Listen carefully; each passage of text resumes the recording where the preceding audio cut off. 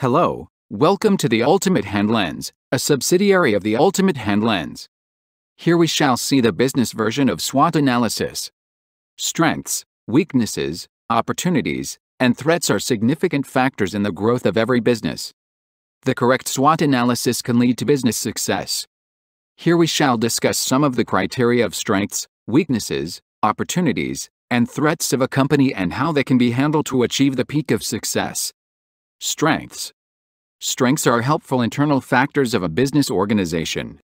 The following questions can help to identify the strengths of your business. What do you perform well? What unique resources do you have over your competitors? What do stakeholders find as your strengths? Strengths are the building units of business organizations. If your business is performing well in one positive sector, plot it in the list of your organization's strengths. List down the competitive advantages that the organization has over its competitors. The intangible assets like knowledge, skills, and reputation and tangible assets like customers, technology, and patents are the strengths of an organization. Weaknesses. Weaknesses are harmful internal factors of a business organization. The following questions can help to identify the weaknesses of your business. What don't you perform well? What resources do you lack over your competitors? What do stakeholders find as your weaknesses?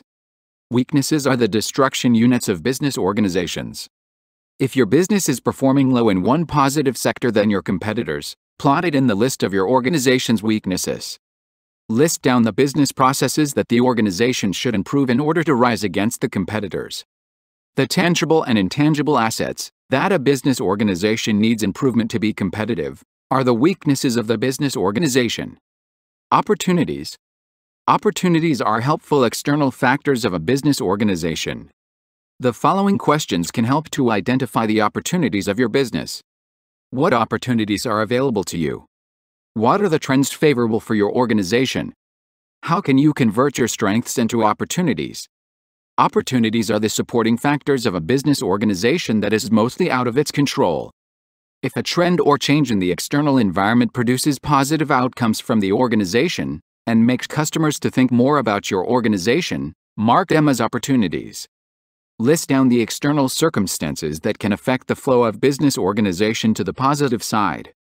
Political changes, market trends, cultural impacts, government regulations, upcoming events that will highly favor the growth of a business organization are the opportunities of that business organization.